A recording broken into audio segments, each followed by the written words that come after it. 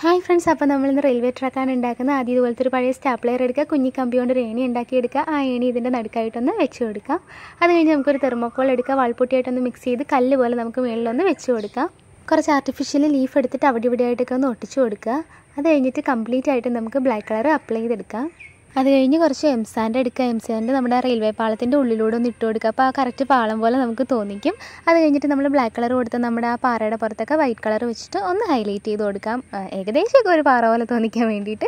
പിന്നെ കുറച്ച് ചകിരി എടുത്തിട്ട് കുറച്ച് ഗ്രീനും ഓറഞ്ചും കൂടിയൊക്കെ മിക്സ് ചെയ്തിടുന്നുണ്ട്. ചില സ്ഥലങ്ങളിലൊക്കെ ഈ ഇലകളൊക്കെ ഉണങ്ങി കഴിയുമ്പോൾ ഒരു ഓറഞ്ച് ഷെയ്ഡൊക്കെ പോലെ വരത്തില്ല. അപ്പോൾ അതുപോലെ തോന്നിക്കാൻ വേണ്ടിയിട്ടാണ്. അപ്പോൾ ഇതേ നമ്മുടെ റെയിൽവേ പാളം റെഡി ആയിട്ടുണ്ട്. സ്റ്റാപ്ലെയറിൽ നമുക്ക് സിമ്പിളായിട്ട് ചെയ്തെടുക്കാൻ പറ്റും. Thank for watching.